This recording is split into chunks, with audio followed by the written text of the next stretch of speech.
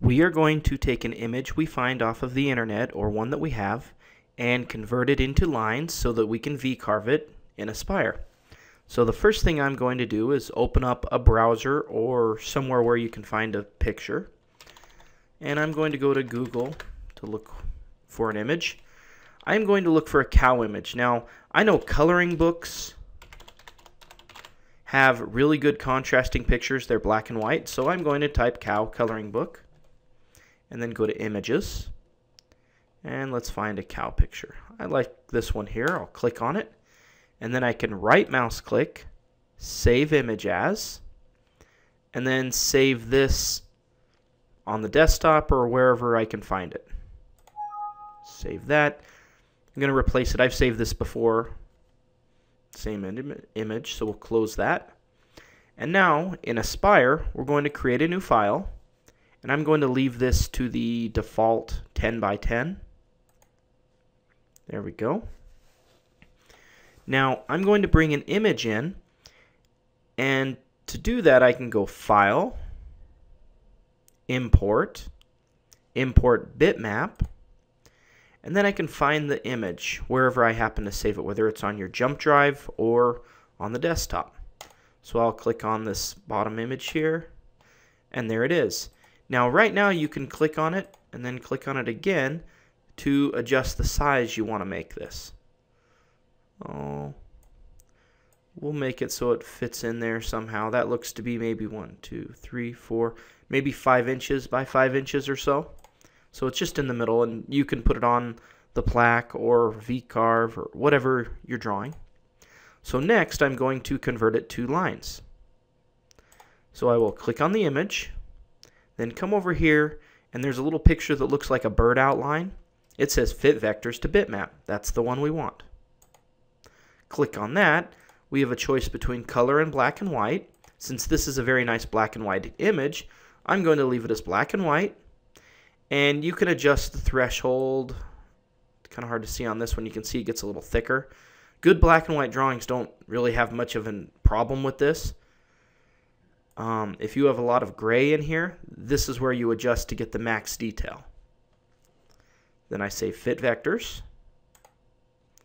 And Then I can come over here and click on the image and delete it if I want to delete it. And I can see all of the little vectors or lines that it drew. I'll hit close here.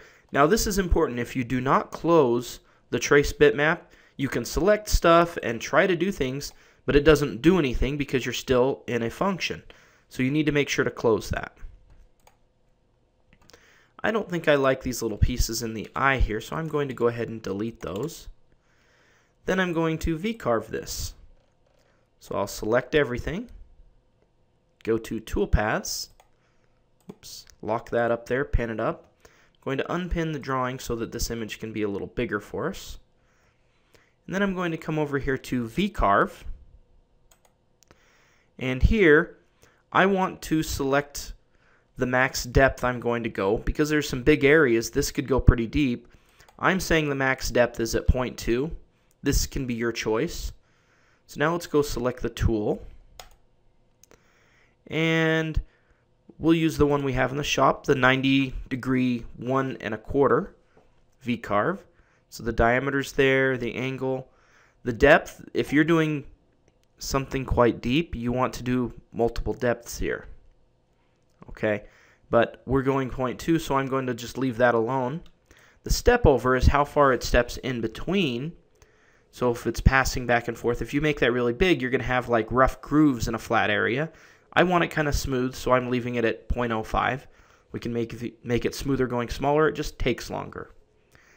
We'll set our feed rates and plunge rates. 60 and 30 is good. Depending on the wood, you can speed that up or slow it down. Hardwood, you need to go slower. So let's hit OK. Everything else looks pretty good here, so let's change our name. I'm going to put cow vcarve and hit calculate.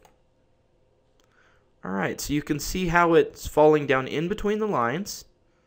And then when there's bigger pockets, it does that 0.05 step over. So let's preview that. And there we go. Now, I'm not liking quite how deep these are, So let's double click on that and maybe make it point 0.1 instead of point 0.2. Calculate, reset the preview, calculate, preview that again. I think that looks a little better.